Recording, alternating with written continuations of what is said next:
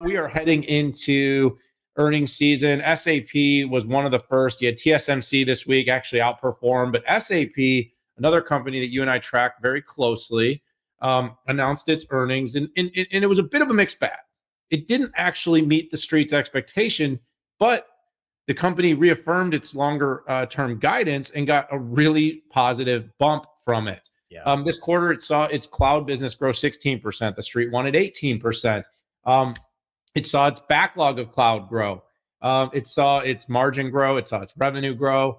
Um, it saw its operating profits grow, and uh, its EPS grew substantially. So, winner or loser? Well, of course, you know what you do doesn't always matter when the street wants more. But my take is this: this is a company that's quarter after quarter doing things right. It's got a very difficult situation with lots of on-prem customers with massive massive custom code bases that are in a position now where they need to move from old iterations of SAP to S4 in the cloud so they can take advantage of the most advanced AI and other cloud enabled features.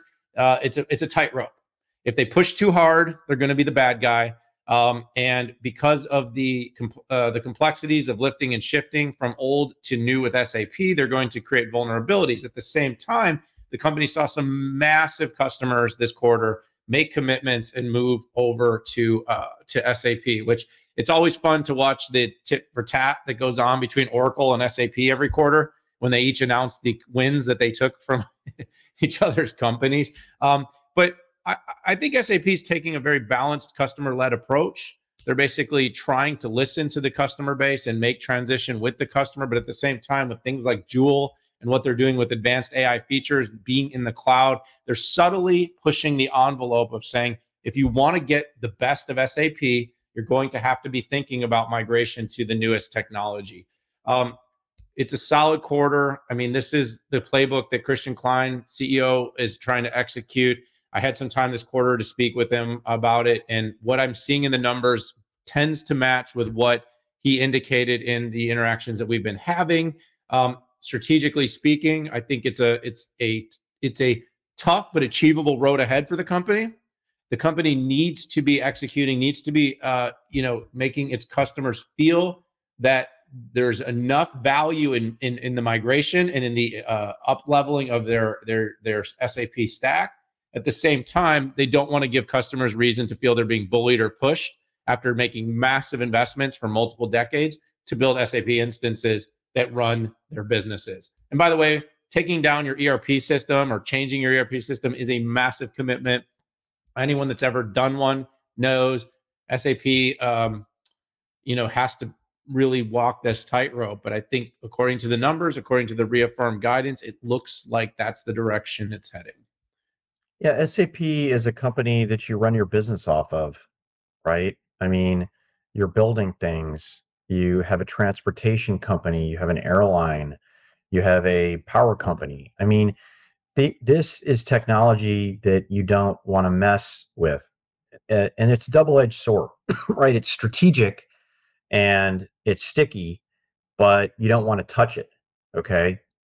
I believe that SAP has been too gracious with some of its customers. And quite frankly, uh, it's holding them back. I think what we learned uh, in areas like Windows and what we learned with Oracle Fusion was that at some point you have to cut and run, right? And you have to and you have to move, even though the register might write nasty articles about you. Because uh, what happens is, is you end up splitting your R and D. Okay, uh, and you know I urge any SAP customers out here to, to, at a minimum, get on the Common Core. Okay. You can get on the Common Core three different ways. It's not like SAP is saying there's only one way to get there, right? There's three ways uh, to get there. But if you're rolling and running on something that, that you were using in 1996, I can't even remember the name, uh, you need to move or you need to get onto something else or you need to write it yourself uh, because it's holding back uh, uh, S- SAP. And I think this, you know, momentary thing with the quarter for a company like SAP to me uh, is is is meaningless. I mean, I'm not an equities analyst, and quite frankly, I don't even care what the stock does. Uh, but what I do care about is that it is investing R&D and it is taking care of its future forward customers that aren't uh, holding holding it back. So I'd like to see a little bit more a little bit more push.